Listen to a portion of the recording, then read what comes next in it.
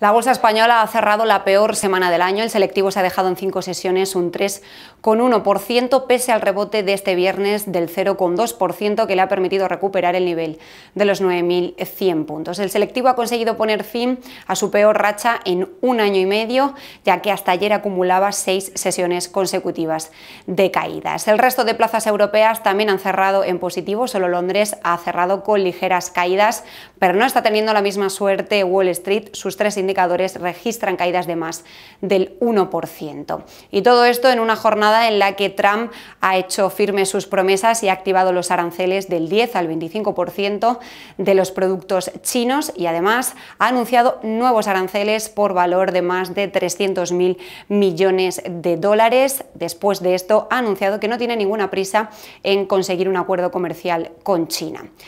En el plano empresarial, hoy ha presentado sus cuentas telefónicas, sus acciones han cerrado con una ligera caída del 0,1%, pese a anunciar que ha aumentado su beneficio en más de un 10%. También ha presentado sus cuentas hoy IAG, sus acciones han subido un 1,6%, pese a haber ganado 11 veces menos. Y ayer publicaba resultados al cierre de la sesión Acciona sus eh, títulos han cotizado hoy como el valor más castigado, se ha dejado más de un 3% por estos resultados que han sido por debajo de lo esperado por los analistas. Y en Wall Street ha debutado hoy Uber, ayer marcaba un precio de referencia de 45 dólares, sus acciones se han desplomado un 7% y cotizan en el entorno de los 42 dólares. Pueden seguir informándose en bolsamanía.com.